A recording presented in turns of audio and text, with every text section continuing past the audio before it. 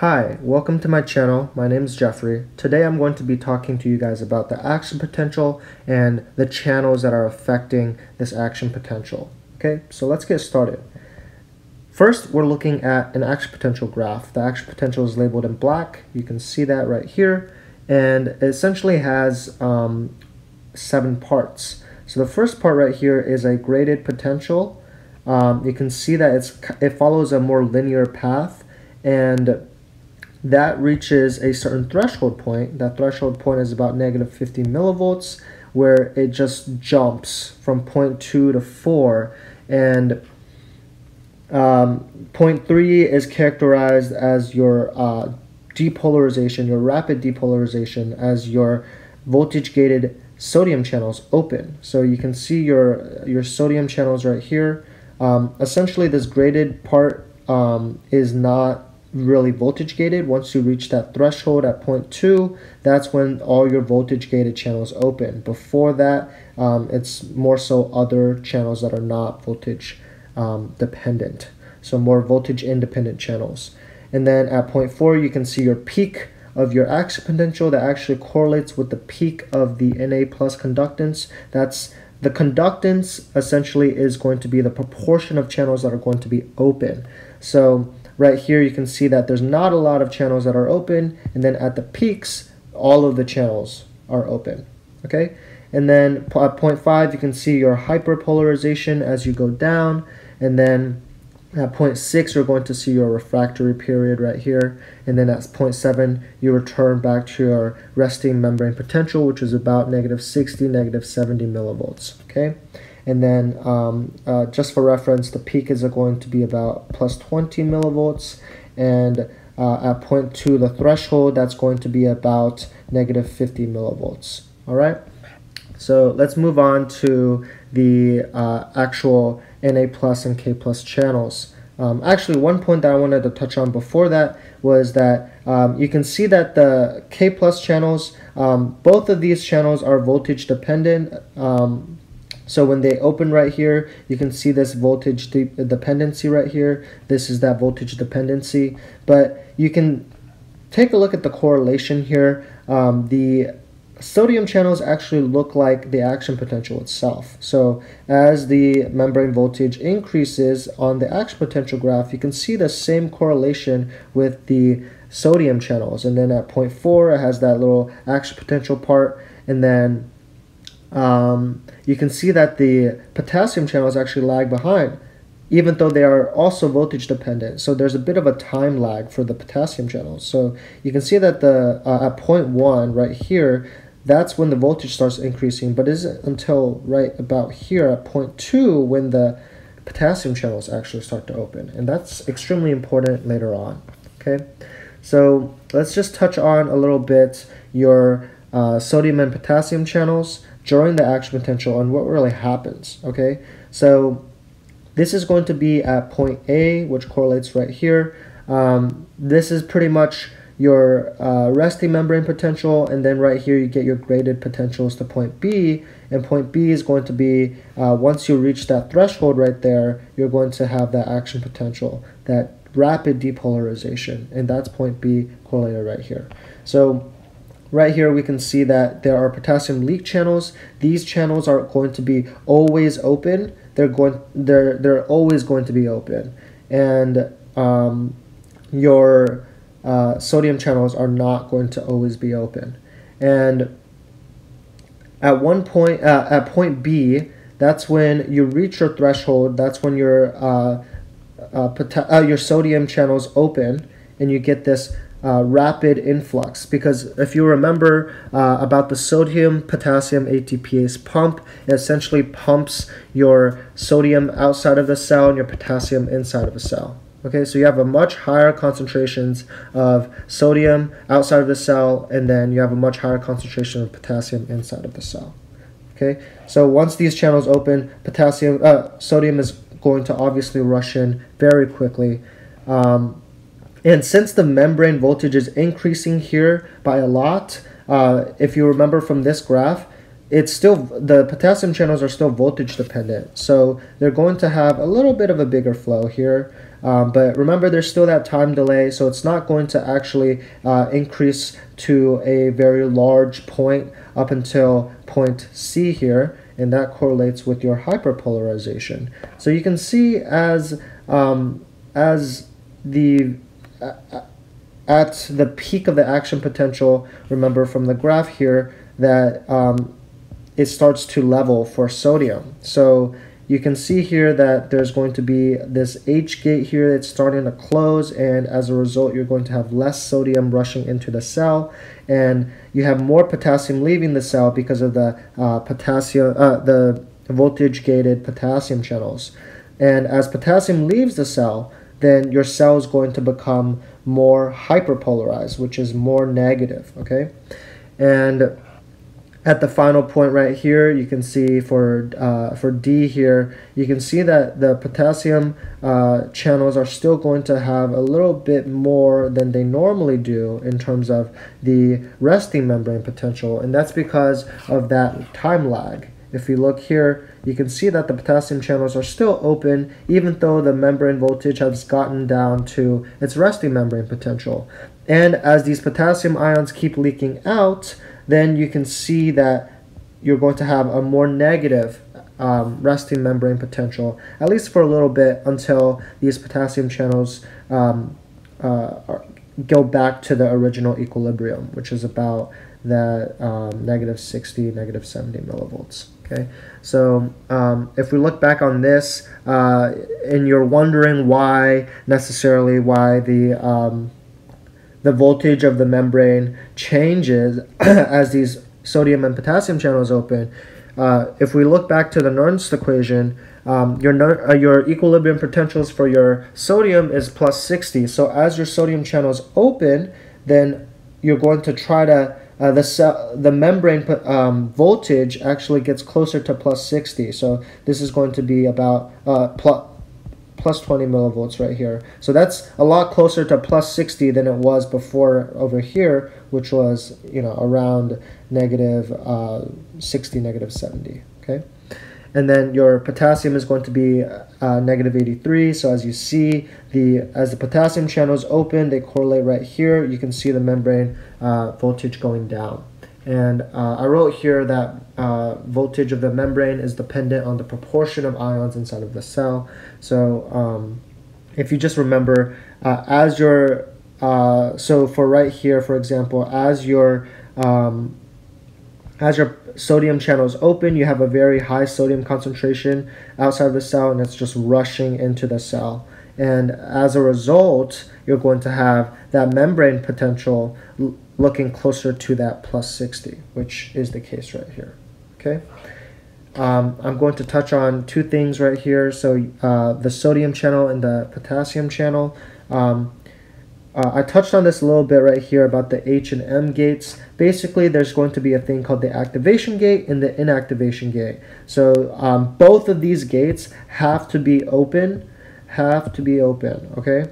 For uh, potassium to go inside of the cell. And this is going to be extra extracellularly and this is going to be intracellularly, okay? And so both of these, so this inactivation gate and the activation gate have to be open at the same time in order for potassium to go inside of the cell. If you look here, um, that's going to be the case. You can see that the inactivation gate has a uh, is open, is 100% open when it's very, very hyperpolarized. And then as the um, membrane voltage gets higher, as the potential gets higher, your activation gates start to open. Okay, so what you want is that like kind of sweet spot where both of these are going to be open and you're looking at this graph right now and you're like, wait, but it's never going to be open because even at negative uh, 31, 32 millivolts, it's essentially like 0.0001% like proportion uh, of the channels that are open. So how do we get this action potential? How do we get this sodium conductance when it's like that? Now, the key thing here is that the inactivation gate has a bit of a time lag. And if we remember from um, the same principle for the potassium channels where there's a time lag here, that's the exact same principle that's affecting the inactivation gates here. So that's also partially why um, we want to have that rapid depolarization because if we don't have that rapid depolarization, then um, your inactivation gates are, are going to close very uh, relatively quickly. So remember that about negative 50 millivolts is where our rapid depolarization happens. So um, that means that it's essentially going to plus 20 very quickly. So we're going to have about, you know, 20% of our channels open at the same time as 100% of the inactive uh, of the activation gates that are open. So that leads to um, this part of the action potential, okay?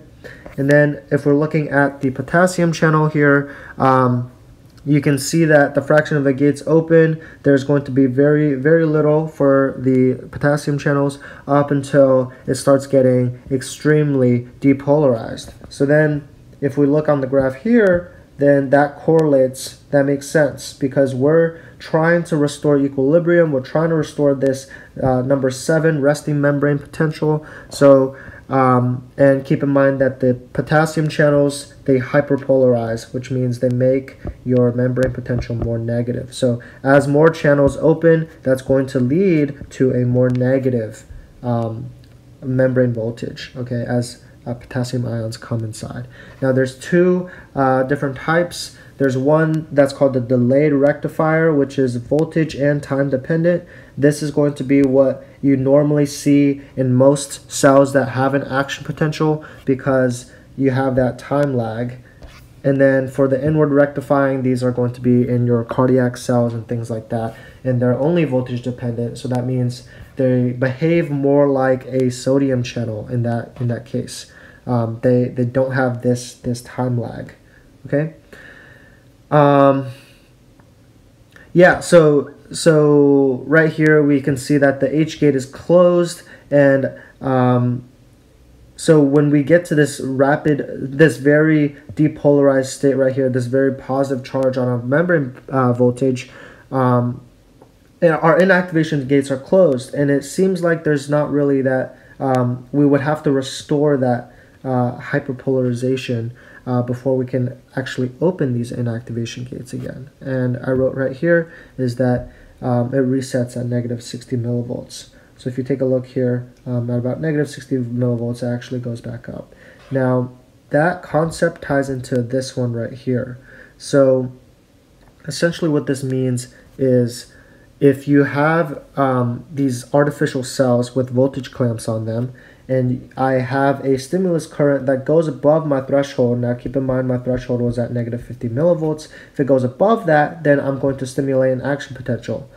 If I have below that, I'm not going to stimulate an action potential, I'm going to have a graded potential. And that's very common sense. But then you look here and it's multiple um, stimulations that are below the uh, actual threshold potential, but then I have one that's significantly higher than the threshold potential. If you take a look here, this is actually taller than that last one. So um, now I'm like definitely above threshold. I should definitely be seeing action potential, but what I see here is that it's still a graded potential. And the reason for that is because of this H gate right here. It, like my um, I have a much more depolarized state. So as a result, and keep in mind that the inactivation gates have a bit of a lag before actually restoring, um, going back or opening up. So if I have all of these stimulations that are going to be depolarizing my cell to about over here, then obviously all of my inactivation gates are going to be closed. And as a result, when I have a stimulus that goes way over, so about past negative 20, my inactivation gates have that time lag. They haven't even restored back to their original, which is the reason why I'm unable to fire another action potential. Um, now, uh, calcium also plays a role into, into these um, voltage gated and also um, just normal sodium channels.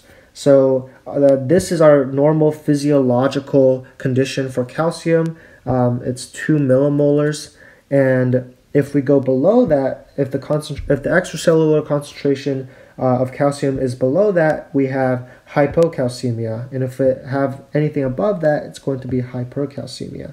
And what this means is just that it's going to change our um, not only our resting membrane potential, but also our probability of opening sodium channels. So as you can see, if we have a hyper, uh, oh, sorry, a hypocalcemic state, it's actually easier to fire an action potential because now our resting membrane um, uh, voltage is going to be about negative 60 millivolts, but it's going to be a lot easier to fire that um, sorry, this is not our resting membrane voltage. This is just going to be the voltage at which the NA channels are going to be opening. So uh, remember our, uh, our resting membrane voltage was about negative 60, negative 70. And as a result of a hypocalcemic state, it's actually going to be much easier to open up these sodium channels, which will depolarize our cell, giving it that positive charge.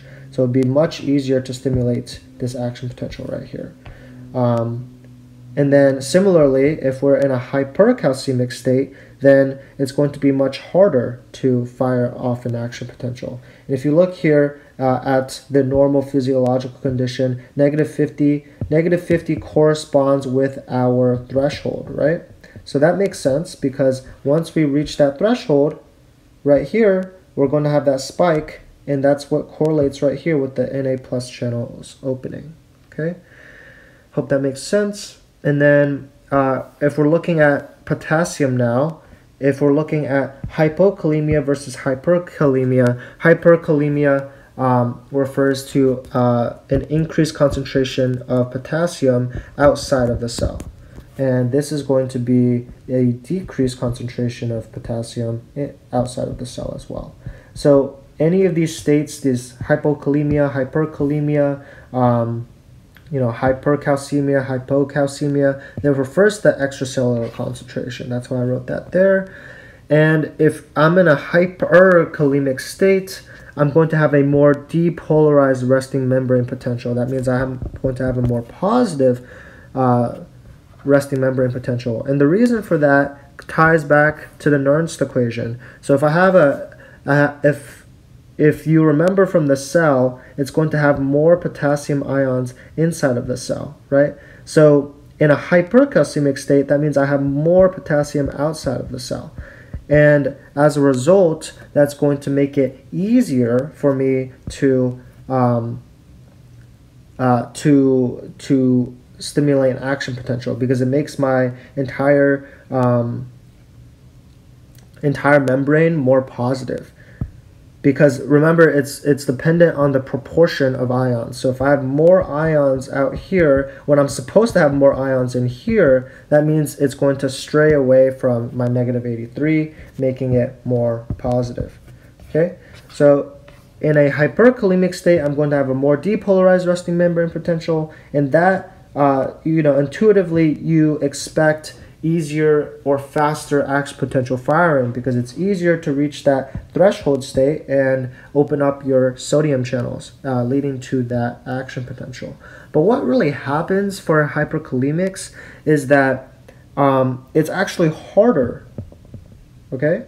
It's actually much harder for them to fire an action potential. And the reason for that ties back to your inactivation gate because Remember, the inactivation gate only resets at negative about negative 60 millivolts. And if you have a more depolarized resting membrane potential, that means you're you're going to be about negative 50, negative 40 millivolts, and that and that ties into right here. So your inactivation gates are not really going to be open. And as a result, it's actually harder to form an action potential. Now for hypo, hypokalemics, they're going to be in a more hyperpolarized state. So if we look back up here um, to the, the equilibrium potential for calcium, if I have an hypokalemic state, I have the same concentration of Ks, but now I have much less Ks outside of the cell. So if I look here, um, let's just say I have um, you know 4 Ks inside of the cell and that's what's normally keeping up my uh, my uh, potential, my my uh,